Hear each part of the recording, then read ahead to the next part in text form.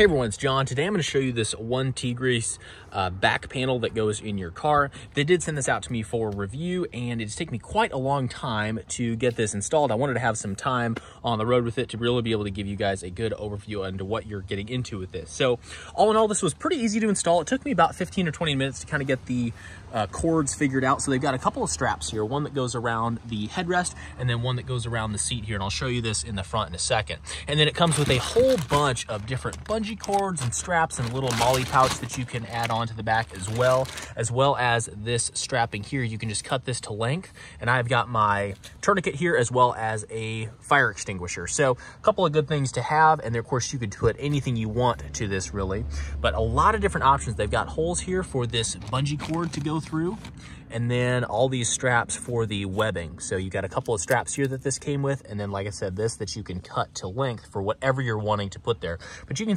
a little bit of, uh, it's pretty stable. Once you get it tightened down here, I can move it around just a little bit. And then I'll show you on the front here. So this strap does come around the front of the seat, and at least on my seat, it fits right here. Now this is on a 2020 RAV4, so this is a fifth generation RAV4 if you are installing it on the same vehicle. But this you do not notice at all. I've sat on this for many, many miles and no issues. It either kind of goes back like this or you just sit down like this. So no issues there, but your seat may be a little bit different, but I did want to point that out. But all in all, I really like the look of this. As you can see here, kind of stepping back, we get the camera to focus here.